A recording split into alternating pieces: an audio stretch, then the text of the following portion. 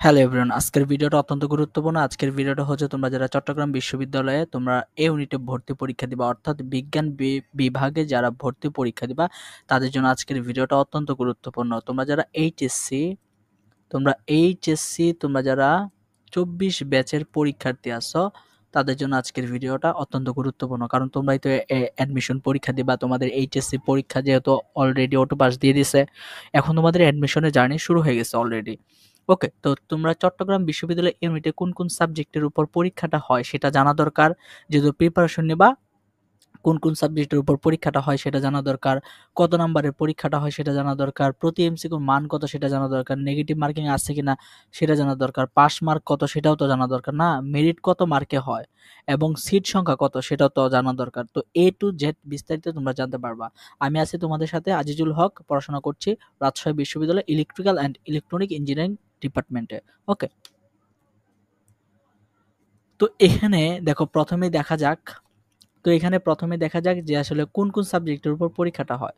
তো মেইনলি তোমার চট্টগ্রাম বিশ্ববিদ্যালয়ে তোমার কি English, Bangla physics chemistry biology এবং ম্যাথ এই সাবজেক্টগুলোর উপর তোমার পরীক্ষাটা হয়। তবে এখানে সবগুলো সাবজেক্ট থেকে এর মধ্যে তোমার ইংলিশ এবং তোমার কি বা ইংলিশ এবং কি বাংলা এটা বাধ্যতামূলক আনসার করতে হয়।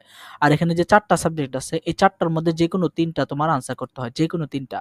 চারটার মধ্যে যে কোনো তিনটা, অর্থাৎ ফিজিক্স কেমিস্ট্রি বায়োলজি এবং কি ম্যাথ এই চারটার মধ্যে যে কোনো তিনটা আর এখান থেকে ইংলিশ এবং কি বাংলা এইটা বাধ্যতামূলক আনসার করতে হয়।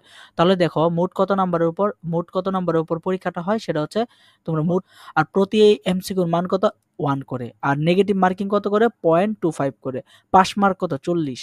একশোর মধ্যে যদি তুমি চল্লিশের নিচে পাও, তুমি কিন্তু ফেল আর মেরিট কত মার্কে হয়? অর্থাৎ মেরিট হয় একশো বিশে। অর্থাৎ তোমার একশো মার্কের যে পরীক্ষাটা হয়, সেটা প্লাস হচ্ছে তোমার জিপিএর উপর থেকে বিশ মার্ক জিপিএর উপর থেকে বিশ মার্ক মোট হচ্ছে তোমার কত? একশো বিশ মার্ক এর উপর ভিত্তি করে অর্থাৎ একশো বিশের মধ্যে তুমি কত পাইছো? সেটার উপর ভিত্তি করে তোমার মেরিটটা করা হয়। আর সিট সংখ্যা কত? সেটা হচ্ছে বারোশো বারোটি সিট ইউনিটে ইউনিটে তোমার কি? এ ইউনিটে তোমার বারোশো বারোটি সিট ওকে তো এখন কথা হচ্ছে এই যে পাস মার্কটা আছে, এইখানে একটা জিনিস তোমাকে জানতেই হবে। কারণ শুধুমাত্র তুমি চল্লিশ পাইলে যে তুমি পাস করবা এরকম নয় আর একটা ক্রাইটেরিয়া আছে খুব গুরুত্বপূর্ণ। সেটা হচ্ছে দেখো, সেটা হচ্ছে তোমার ইংলিশে পনেরো মার্ক থাকে, বাংলায় থাকে পনেরো মার্ক আর এখানে ফিজিক্স কেমিস্ট্রি বায়োলজি এবং ম্যাথ এগুলো সবগুলোতে পঁচিশ মার্ক করে থাকে। তোমার আনসার করতে হয় কত? একশো মার্ক একশো মার্ক আনসার করতে হয়। যেহেতু ইংলিশ এবং কত বাংলা এগুলো বাধ্যতামূলক, এখানে কোনো এগুলো পরিবর্তে অন্য কোনো কিছু আনসার করা যায় না। তাহলে দেখো ইংলিশে কত পনেরো আর এখানে বাংলায় কত দশ। তাহলে মোট কত হচ্ছে? এখানে কত পঁচিশ। তোমার যেহেতু একশো আনসার করতে হবে আর পঁচাত্তর আনসার করতে হবে। তো পঁচাত্তরের মধ্যে এখানে দেখো প্রতিটাতে যেহেতু পঁচিশটা করে যে কোনো তিনটা আনসার করতে পারবা। যে কোনো তিনটা। তুমি তুমি চাইলে তুমি ফিজিক্স কেমিস্ট্রি এবং বায়োলজি আনসার করতে পারবা। চাইলে ফিজিক্স কেমিস্ট্রি এবং ম্যাথ আনসার করতে পারবা। ওকে তোমার মনের খুশি। তো এখানে কোনো ক্রাইটেরিয়া নাই যে ফিজিক্স কেমিস্ট্রি আনসার করতে হবে এবং বায়োলজি এবং ম্যাথের মধ্যে যে কোনো একটা আনসার করলে হবে। তুমি চারটার থেকে যে কোনো তুমি তিনটা আনসার করতে পারবা কেমিস্ট্রি বায়োলজি ম্যাথ চাইলেও কিন্তু করতে পারবা বা তোমার ফিজিক্স বায়োলজি ম্যাথ চাইলেও করতে পারবা। তবে সচরাচর সবাই দেখা যায় ফিজিক্স এবং কেমিস্ট্রি এই দুইটা সাবজেক্ট একটু ম্যান্ডেটরি রাখে বায়োলজি এবং ম্যাথ এই দুইটার মধ্যে আসলে কি তারা উল্টাপাল্টা করে। অর্থাৎ বায়োলজি হয়তো বা স্কিপ করে ম্যাথ দেখায় অথবা ম্যাথ স্কিপ করে বায়োলজি দেখায় অর্থাৎ ফিজিক্স কেমিস্ট্রি বায়োলজি দেখায় তবে এখানে দেখো, কথা হচ্ছে দেখো, আমাদের টোটালি পাস কত টোটালি পাস হচ্ছে তোমার চল্লিশে। তবে ভাইয়া, তুমি যদি ইংলিশে পনেরোর মধ্যে যদি চারের নিচে পাও, তুমি কিন্তু ফেল ইংলিশে যদি ই, বাংলাতে যদি দশের মধ্যে তিন মার্কের কম পাও, তুমি কিন্তু ফেল এই জিনিসটা কিন্তু তোমাকে অবশ্যই জানতে হবে। তুমি যদি দেখো, তুমি সত্তরও পাও, সত্তরও যদি পাও, কিন্তু তুমি বাংলাতে তুমি দশের মধ্যে তিন, তিনের নিচে পাইছো তিনের নিচে পাইছো। অর্থাৎ তিনের নিচে বলতে এখানে বোঝাইছে বোঝানো হচ্ছে দশটার মধ্যে তিনটা সঠিক হইলে হবে। তিনটা সঠিক হইলেও হবে। অর্থাৎ তোমার তিনটা এমসিকিউ যদি সঠিক হয়, তাহলে তুমি পাস। আর ইংলিশের মধ্যে তোমার পনেরোটার মধ্যে চারটা এমসিকিউ সঠিক হইতে হবে। চারটা এমসিকিউ সঠিক হইলে তুমি পাস। জিনিসটাকে বুঝাইতে পারছি? এই জিনিসটা কিন্তু অবশ্যই তোমাকে মনে রাখতে হবে যে তোমার ইংলিশে তোমার কি পনেরোর মধ্যে তোমার কি চারটা এমসিকিউ সঠিক করতে হবে, আর পনেরোটার মধ্যে, আর বাংলাতে তোমার দশটার মধ্যে তিনটে এমসিকিউ সঠিক করতে হবে।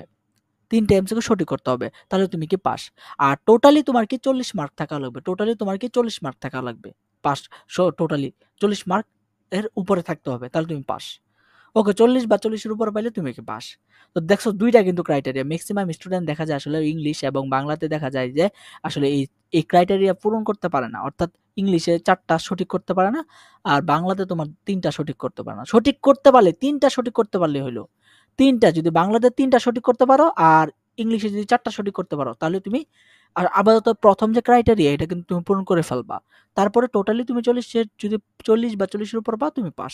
এই জিনিসটা নিয়ে প্রতি বছরই স্টুডেন্টরা অনেক মানে সমস্যার মধ্যে থাকে। তো আশা করি যে আজকের ভিডিওটা দেখার পর তোমাদের ক্লিয়ার হয়ে গেছে। তারপরে কথা হচ্ছে দেখো, তোমার যেহেতু ইংলিশ এবং বাংলাতে যেহেতু তোমার বাধ্যতামূলক আনসার করতে হয়, তো এখানে দেখো পঁচিশ গেছে গা, পঁচিশ, এখানে কিন্তু পঁচিশ মার্ক আর হচ্ছে তুমি এখানে ফিজিক্স কেমিস্ট্রি বায়োলজি বা ফিজিক্স কেমিস্ট্রি বা ম্যাথ যে কোনো তিনটা আনসার করবা। তবে এখানে একটা কথা আছে, তুমি যদি ফিজিক্স কেমিস্ট্রি এবং বায়োলজি যদি দাগাও তাহলে তুমি এই যে তোমার এ ইউনিটে যতগুলো সাবজেক্ট আছে সবগুলোর জন্যই তুমি অ্যাভেলেবল হবা। তবে ত্রিপুলি বাদে, ত্রিপুলি যে সাবজেক্ট আছে ইলেকট্রিক্যাল অ্যান্ড ইলেকট্রনিক যে ইঞ্জিনিয়ারিং সাবজেক্ট আছে, এই সাবজেক্টটা তুমি পাবা না। এছাড়া যতগুলো সাবজেক্ট আছে, সবগুলোতে তোমার পজিশন অনুযায়ী তুমি চান্স পাওয়ার সম্ভাবনা আছে। ওকে, তুমি যদি বায়োলজি দাগাও, অর্থাৎ ফিজিক্স কেমিস্ট্রি বায়োলজি যদি দাগাও ম্যাথ না দাগাও। আর যদি তুমি ফিজিক্স কেমিস্ট্রি এবং ম্যাথ যদি দাগাও, তাহলে তুমি সবগুলো সাবজেক্টেই তুমি, তোমার পজিশন অনুযায়ী পাওয়ার সম্ভাবনা থাকবে। জিনিসটাকে বুঝাইতে পারছি?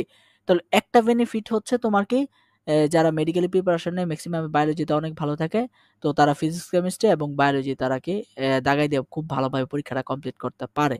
হ্যাঁ ম্যাথ না দাগায় স্কিপ করি।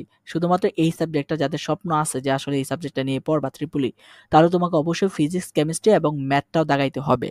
ওকে আর যদি ধরো যে তোমার ত্রিপুলির প্রতি কোনো মানে ইন্টারেস্ট নাই, তুমি বায়োলো ম্যাথ পারো না বায়োলজি পারো, তাহলে তুমি কি করবা? ফিজিক্স কেমিস্ট্রি এবং বায়োলজি দাগাবা তবে এখানে ফিজিক্স কেমিস্ট্রি এবং বায়োলজি দাগালে সুবিধা বেশি। কারণ কি? বায়োলজি যদি তুমি ভালো পারো, তাহলে তোমার দেখা যাবে খুব অল্প সময়ের মধ্যে অনেক ভালো, অনেক বেশি পরিমাণে আনসার করতে পারবা সঠিকভাবে। কারণ ম্যাথমেটিক্যাল যদি তুমি ম্যাথ দেখাও ম্যাথমেটিক্যাল জিনিসগুলো আসলে অনেক সময় লাগে লেংদি প্রসেস লাগে তোমার সঠিক করতে বা আনসার করতে। ওকে তো আশা করি এই জিনিসটা বুঝতে পারছ। আজকের পর থেকে তোমাদের কোনো সমস্যা হবে না। অনেকে আসলে কনফিউশনে থাকে যে আসলে চার চার চার পাইতে হবে নাকি চারের নিচে পাইলে ফেল এরকম না। তোমার চারটা সঠিক করতে পারলে হলো। বাংলাতে তিনটা সঠিক করতে পারলে তুমি পাস ইংলিশে চারটা সঠিক করতে পারলে তুমি পাস। আর টোটালি তুমি দেখবা যে তোমার চল্লিশ বা চল্লিশের উপর পাচ্ছ কিনা, সেই জিনিসটা কিন্তু তোমাকে অবশ্যই অবশ্যই দেখতে হবে। খেয়াল রাখতে হবে। প্রিপারেশন নিচ্ছ, তাদের জন্য আমাদের এমসিকিউ হ্যাক্স কোর্স আছে। এমসিকিউ হ্যাক্স কোর্স আছে, তোমরা চাইলে আমাদের এই এমসিকিউ হ্যাক্স কোর্সে ভর্তি হয়ে যেতে পারো। আমি রাজশাহী বিশ্ববিদ্যালয়ে ইলেকট্রিক্যাল অ্যান্ড ইলেকট্রনিক ইঞ্জিনিয়ারিং ডিপার্টমেন্টে পড়াশোনা করছি, আর আমি চট্টগ্রাম বিশ্ববিদ্যালয়ে ইউনিটে চট্টগ্রাম বিশ্ববিদ্যালয় ইউনিটে একান্নতম হয়েছিলাম। একান্নতম হয়েছিলাম। ওকে? তো আমি কিন্তু চট্টগ্রাম, আমি কিন্তু ফিজিক্স কেমিস্ট্রি এবং বায়োলজি দেখাইছিলাম। চট্টগ্রাম বিশ্ববিদ্যালয়ে। আমি একান্নতম হয়েছিলাম। তুমি যেটা ইচ্ছা, তুমি সেটা দেখাইতে পারো। তোমার পজিশন অনুযায়ী। অর্থাৎ তুমি, তোমার যেটা ভালো লাগে বায়োলজি এবং ম্যাথের মধ্যে, তুমি সেটাই দাগানোর চেষ্টা করবা। তবে যদি ত্রিপুলির প্রতি আসক্তি না থাকে, তাহলে তুমি ফিজিক্স কেমিস্ট্রি এবং বায়োলজি দেখালে, আমি মনে করি যদি, তাহলে তো বেশি ভালো হবে। যদি তুমি বায়োলজি পারো আর কি তো আজকে এই পর্যন্ত সকলে ভালো থাকব আসসালামু আলাইকুম।